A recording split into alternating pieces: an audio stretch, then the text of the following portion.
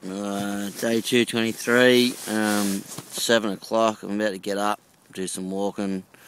Uh, didn't sleep much this morning. Slept all day yesterday, so I'm a bit overtired or whatever.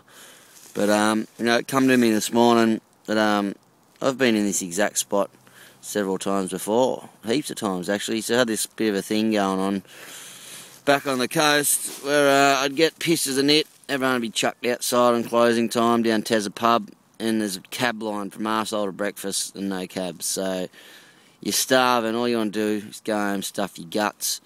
Um, but yeah, you can stand around that cab line in the cold for an hour, or you just leg it home. I used to live heaps far away. I used to sprint home, get home in a sweaty mess, make a mess in the kitchen, get me cheese and tomato on toast, and pass out. Sure, you'd wake up sore legs, but better than stand around a cab line. So on that basis, it's time to start legging it home. Darwin by November. See you tomorrow.